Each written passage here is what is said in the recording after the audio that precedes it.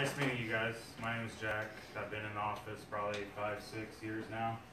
Um, little bit about me real quick. I have a horse, I have a dog the size of a horse, I have a pig, I have chickens, goats, all that fun stuff, so never judge a book by its cover, right? Um, but I've been doing this eighteen years, right? And, and I feel like anytime I go on a listing presentation, I'm good to go, cause I've been doing this so long, right? Well, wrong. Because about a year and a half ago, I was sitting at a listing presentation. I had my beautiful brochures, my listing packet, the comps, I felt comfortable, and it was actually a referral. And we love those referrals, right? I mean, those listing It's almost a lay down when you go on yeah, are referral. so much easier. So I'm sitting down with them, and all of a sudden, they hit me with the question, we're thinking about going with Opendoor instead of you. They don't charge commission. And I didn't have the answers to that. I mean, thank God we have a broker like Jeff who's so passionate, but coming to these meetings, using Kendra's for a hundred bucks, I mean, that's a joke, to save your time. So you can have this, you can have these tools to take with you on your listing presentation, right? If you have all these tools, anything comes up makes it a whole lot easier.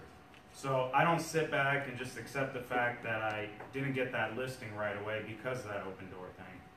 Luckily, I had a rental property that I was selling at the time. So I called up Opendoor and I said, Can you make me an offer on my property? Oh, yeah, no problem. Go online, do all the information, and I'll be honest with you, it was super easy. Punching in all that info took me like five minutes. So then I got an offer, right? It was my property on Copper Bay. I had it listed at the time for three hundred and thirty thousand. Offer came in at two ninety. I was like, oh, thank God, I'm still in business. I'm not scared of these iBuyers. Everything's all good. What's the fees look like? Ten percent. I go, okay, but I thought you guys don't charge commission. So of course, it's a clever thing. Experience. It's a, it's the clever thing they throw in there.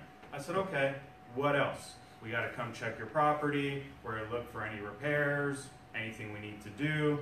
So I had that information with me. Two days later, I called my client back and said, can I come back and sit down with you and go over the listing presentation again?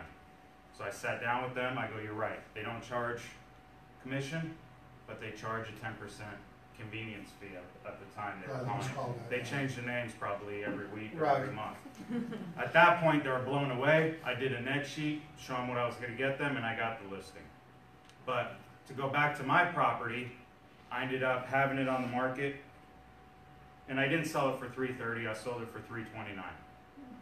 Okay, so if I would've, I mean, not bad, right? Um, if I would've sold it to Opendoor minus the ten percent, I would've netted two hundred sixty-one thousand. Okay, that's a little bit of a difference, right? Instead, I walked away with three ten. And I offered the full commission, right? I didn't bring it down, three percent, all that good stuff. So I was like, I'm great. So now anytime I go on a listing presentation or I'm talking to clients, right? Because I don't know if you guys have worked with Opendoor on the buyer side, it's pretty easy. Right? You want repairs done. This is the price. They're really easy to work with, but unless you have this information, we're not going to educate the people, our clients, when we're just talking at a game, having this information. And unless I went through this and reached out, I would have known on these listing presentations. So that was about a year ago, right? So this has been going on for a while. This isn't no surprise thing.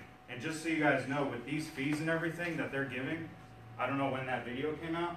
The, the first one was out about three weeks ago, the, the one with the new homes was out last week.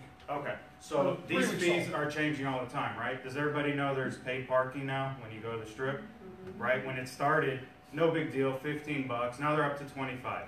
It's the same thing with these fees. So I'm gonna give you a little information, and I went into Jeff's office and everybody probably around thought we were fighting. Because we were screaming, we were passionate, because it's irritating. I mean, look how many agents are in the office right here, and we have three hundred agents?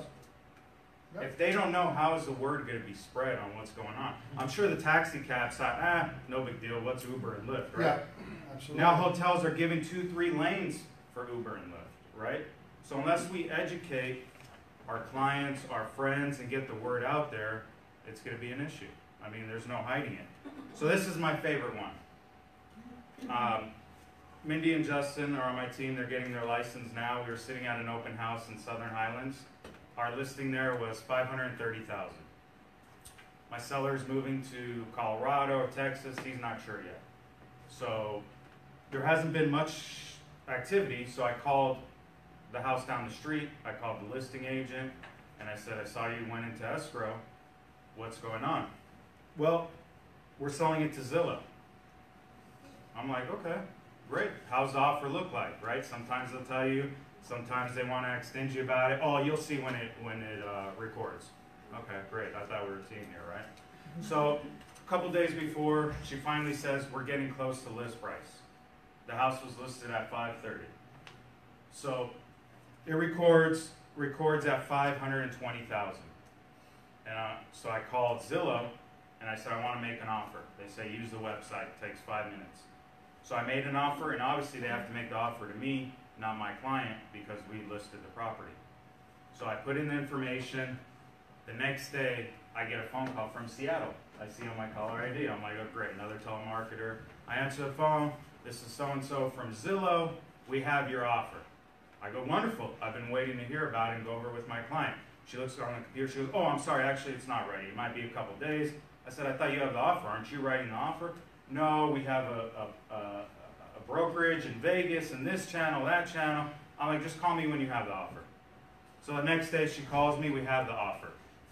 Offer is that, before I tell you real quick, our property was comparable on square footage on the other one, except ours had central vacuum, tankless water heater, an extra bathroom, so obviously our property is worth a little more. So her offer came back at four hundred and eighty-six thousand. Our list price is, uh, five twenty. That's a little bit of a difference. So I'm like, this doesn't make sense, so I look it up and the property recorded for five twenty. Zillow bought the one down the street for five twenty. So I call the lady back in Seattle and I tell her, you know, I'm, I'm, I might not be th- that good at real estate, but it doesn't make sense how you bought the house down the street for five twenty. Ours has more upgrades and you're buying it for four eighty-six. This doesn't make sense to me. Help me figure it out. She goes, well, good news. We can make another offer in thirty days. I go, okay, I have good news for you. I'm gonna tell my client to accept that offer for four eighty-six. Because guess what happens to your comp now? They bought the house down the street for five twenty, No. they put it back up for sale for five thirty, and if we accept their offer, our new comp is four eighty-six. She was shook up. She's like, I just work behind the desk. I don't know anything about real estate. We're, we're a tech company. We have somebody in Vegas who handles that. They're an expert. I'm like, they're a great expert if they comp this at four eighty-six. You bought that one for five twenty. I go, so I'm gonna talk my client into taking this offer, so your comp is destroyed. What's your fees? Well, the good news is, we only charge six point nine percent. I'm like, that's not bad. I go, what about the three percent commission we're offering? Oh, we're gonna take that too, because our standard fee is nine point nine percent. I go, okay, so I kinda did the math for my client, and I was like, this really doesn't make sense, because if you're giving them ten percent, you're giving me three percent, and all those other hidden fees, they're gonna net about four hundred sixty thousand on the house. So that's quite a bit of difference, right? But even if we weren't involved and they were just buying it from the homeowner, Still do that. it's ten percent. So these numbers that they just talked a week ago, it could be wrong, it could be updated, but these are the numbers. I have the offer. I printed it out, I have all the information, and it's ten percent. So right off the top, fifty, sixty thousand, gone. Comes just like this, four hundred eighty-six thousand. Talks about sell to Zillow, talks about traditional sales. And they're gonna get five thousand dollars in repairs, period. Okay, cause they're gonna repaint it and carpet it with the seller's money, period. So, at the end of the day, I was worried when I saw the five hundred and twenty thousand, right? I got home, I talked to my wife, I went out and pet my goat, I'm like, we're in trouble. You Get some goat Yeah, yoga. I don't know if you're gonna be getting hay this month, but we're gonna be in trouble, because if Zillow's buying houses at market value, which this lady from Seattle claimed they were doing, we're in trouble, honestly, all of us are. But when I found out ten percent fees, repairs, goats are eating good, we're still, we're still We're living large. we're still okay, right? So knowledge is power is, is the, the que, the thing here, guys. We gotta know what, what, the- what we're up against.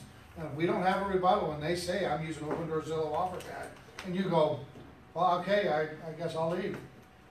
You're gonna be in trouble, and that's exactly what they're gonna start doing. So real quick, what I'm gonna do with this information, I'm gonna laminate it, make it look a little prettier, and now when I'm at my listing presentation, if that question comes up, boom, I pull it up. Just like, I don't know if you guys have seen it online or on the MLS, uh, an agent taking a picture of the bathroom and you can see them in the mirror. I keep that in my, in my bag too. Because if they have, you know, oh, uh, what do you offer? Well, I bring in a professional photographer, they're gonna talk shortly, they're amazing, we use them a bunch of times. You show them quality. You don't show them a picture, you know, a picture of an agent like this in the background. Because this one percent, guess what, guys? This isn't this isn't something new. This isn't taking over the market. Who remembers Help-U-Sell? Who remembers all this stuff? You get what you pay for. And if you're one of those agents who just put it in the MLS and you're done, fingers crossed, hopefully it sells, right? I just put in the MLS. I took pictures with my beautiful new iPhone. That's not gonna happen. And that's that's the agents who'd be worried. I'm not worried by that stuff because I know what I bring to the table. Well, the one thing I'm gonna give Opendoors, Zillow and all those, you guys, they do make it simple. And they do make it easy. But listen, but why don't we concentrate on making it easy as, as well? Let's don't make it a hassle to buy and sell a home. And if you got a client that says, listen, I gotta get out of here, hey, your house is worth five hundred, let's, let's put it on the market for four sixty. I'll get you out of here. You wanna pick your own closing date? We can do that too. I mean, we gotta find what they're rebutting and give a rebuttal to it. Right. You can pick your own closing date. Okay, you can too. Uh, I gotta move quickly and I wanna sell it for less. I can do that too. Can I tell a Or story? less, on that real please, quick? please. Real quick, I don't wanna take up too much more of you guys' time. But recently, I had my client, we put an offer on a horse property, seven hundred thousand, they had two offers. Um, I told the agent, she knows me, she talked them into working with me because she knows it's gonna be a smooth transaction. Guess what the hardest part was? My buyers were contingent on their house selling. So try to get that offer accepted when they're not even on the market yet. But they wanted the house so bad. She wanted her horse in her backyard so bad. She's retiring. She, this is what she's wanted her whole life, right? So I sold it to the agent. We got it pushed through, but that's what I did. Guess what? I priced it. I didn't overprice it. Like how many percentage of the listings out there right now? Sixty percent are. Sixty percent overpriced. I didn't overprice. I priced it a little bit lower, and still did the beautiful pictures. They actually did our pictures. Looked amazing. Guess what? We had 15 showings in two days and four offers. We listed at 380. We got 391. If we weren't in a hurry, I would have listed at 399, right? But instead 380. We got so we can do the same thing they're Absolutely doing. right. There's no secret And that's what here. we talked about at that meeting last week, is exactly that right there, Jack. If your client's saying, we know them better than Zillow knows them, so why aren't we doing it? Why aren't we saying, listen, you've gotta be out here, let's price it competitively and get it done. They were happy, you got them off the market, sold, and everything's working great. Thank you guys for your time. If you have any questions, let me know.